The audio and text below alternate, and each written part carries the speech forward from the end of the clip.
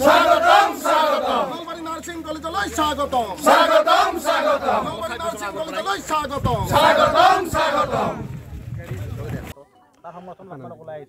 আমি একেহাৰে চৰকাৰৰ যিটো সিদ্ধান্ত যে বৃহত্তৰ পূব নলবাৰী অঞ্চলৰ গুৱাগুচি গাঁৱৰ শিলপতা গোপাল মন্দিৰ প্ৰাংগণত ওচৰতে সমীপত যি নাৰ্ছিং কলেজ নিৰ্মাণৰ কাৰণে যিটো সিদ্ধান্ত গ্ৰহণ কৰিছে আমি পূব নলবাৰী অঞ্চলৰ ৰাইজ হিচাপে আমি চৰকাৰক স্বাগতম জনাইছোঁ।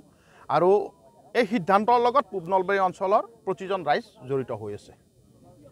আহ, ইয়াতে আচলতে প্ৰতিবাদ হৈছিল দুদিন পূৰ্বে। ইয়াৰে স্থানীয় লোকসকলে কৈছিল যে ইয়াত আচলতে চৰকাৰী ঈশ্বৰৰ দালাল যিসকলে জাতি আৰু ধৰ্মৰ নামত বিগত সময়তো তেওঁলোকে বিভিন্ন ধৰণৰ ভাগ কৰি কৰি যে সমাজখনৰ অৱস্থা একেবাৰে ধ্বংস কৰাৰ যিটো প্ৰয়াস সেই প্ৰয়াসটো আমি ইয়াত কিছুদিন আগত কৰাটো দেখিছোঁ।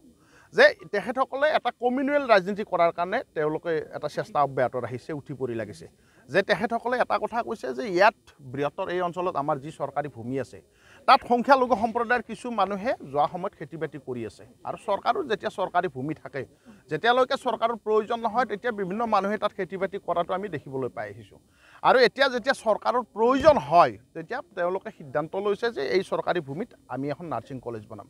আৰু চবতকৈ আমি ইয়াত দেখিবলৈ পাইছোঁ যিকেই যিকেইটা পৰিয়ালে ইয়াত তেওঁলোকে সেই চৰকাৰী ভূমি তেওঁলোকে খেতি বাতি কৰি আহিছে আৰু তাত যিটো আমাৰ নাৰ্ছিং কলেজখন বনোৱাৰ সিদ্ধান্ত গ্ৰহণ কৰিছে যে ওচৰে পাজৰে যিখিনি ভূমি আছে সেইখিনিও এই গুৱাগুচি গাঁৱৰে সংখ্যালঘু মানুহৰ ভূমি। যে আজি আমাৰ ইয়াত নাৰ্ছিং কলেজখন নিৰ্মাণ হোৱাৰ লগে লগে সকলোতকৈ লাভান্বিত হ'ব গুৱাগুচিৰ আমাৰ সংখ্যালঘু ৰাইজ। আৰু ওচৰে পাজৰে তেওঁলোকৰ ব্যৱসায়িক প্ৰতিষ্ঠান গঢ়ি উঠিব। আৰু ইয়াৰ লগে লগে নাৰ্ছিং কলেজখন হোৱাৰ লগে লগে এই যিটো পথ আছে এই পথটোৱে গৈছে গুৱাগুচি সংখ্যালঘু ৰাইজৰ গাঁৱৰ ভিতৰতে। যে আজি এই নাৰ্ছিং কলেজখন হোৱাৰ লগে লগে এই ৰাস্তাটো নিৰ্মাণ হোৱাৰ লগে লগে সকলোতকৈ লাভান্বিত হ'ব গুৱাগুচিৰ সংখ্যালঘু মানুহখিনি। আৰু সেই কথাটো কিন্তু সংখ্যালঘু মানুহখিনি বুজি পাইছে।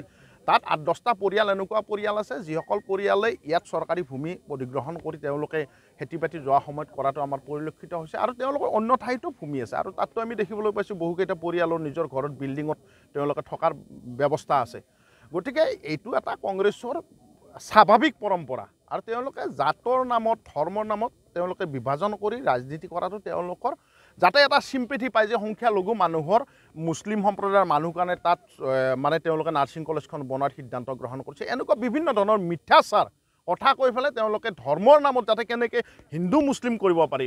যিটো আমাৰ বিজেপিৰ বা আমাৰ চৰকাৰখনৰ যিটো লক্ষ্য যে আমি সামগ্ৰিকভাৱে সকলো ৰাজ্যৰ স্বাৰ্থত বিকাশ আমি আনিব লাগে উন্নয়ন আনিব লাগে তাৰ বিপৰীতে তেওঁলোকৰ কথাটো হৈছে কি জাতৰ নামত ধৰ্মৰ নামত মেৰু বিভাজন কৰি যাতে তেওঁলোকে আগন্তুক নিৰ্বাচনত ভোট লাভ কৰিব পাৰে তাৰ প্ৰয়াস এটা মাত্ৰ।